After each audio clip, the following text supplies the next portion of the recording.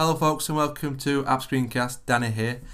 In today's video I thought I'd answer a question I got on YouTube from Sam of the Bull 102 and he basically asked was there a way to move his iTunes library over from his Mac to an external drive and yeah there is, it's really easy to do but I thought this was a great question which would be useful to a lot of people so thanks for the question Sam and I'm going to answer it in this video.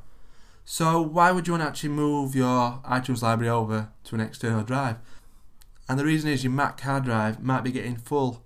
And you've got the option to obviously upgrade your Mac and put a bigger hard drive in there. But that's not always the best solution. It can be costly uh, time consuming etc so just use an external drive plug it in via USB is, is kind of the easiest option to do this.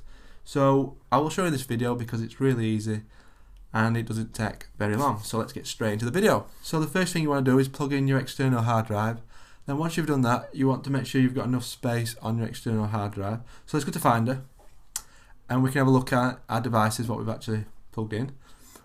And if I right click on it or control click I can go to get info and I can look basically how large this hard drive is. So the capacity is about 160 gig on this one. And I can look how much available space there is. And as we can see I've got nothing else on this hard drive. It's about 160 gig. Now from there I want to go to my music folder and navigate to the iTunes folder which is here. And now I want to just double check how big this actual iTunes folder is how much media I've actually got in it. So if I right click or control click on the folder I can go to get info again and I can look how big this actual folder is and as we can see here it's 120 gig. So if I move this over to my external drive I'll have 40 gigs of free space which would be handy. So yeah this is definitely the option I'm going for I'm going to transfer it over to the 160 gig hard drive.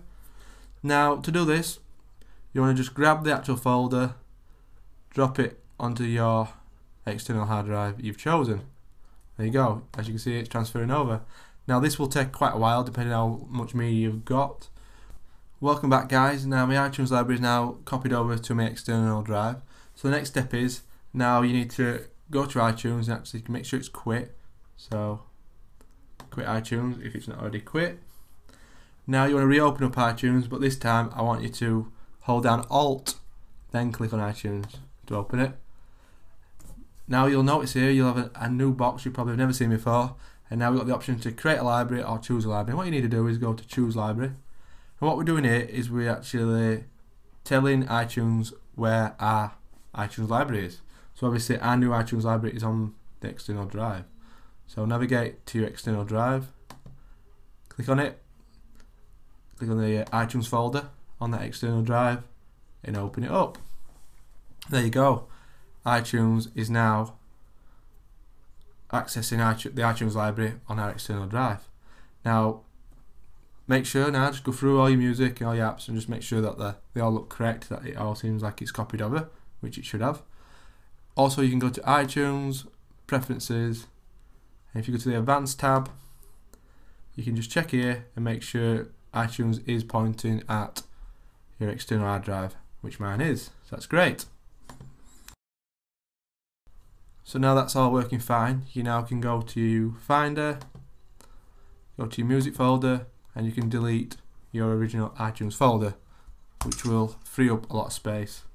Now make sure everything's working fine before you actually delete this because I would hate for anyone to delete their iTunes folder, lose all the content, then realise they've done it all wrong. So just double check it's all working fine, then you can delete that folder. So yeah, thanks for everyone for watching the video. Hopefully you found it useful.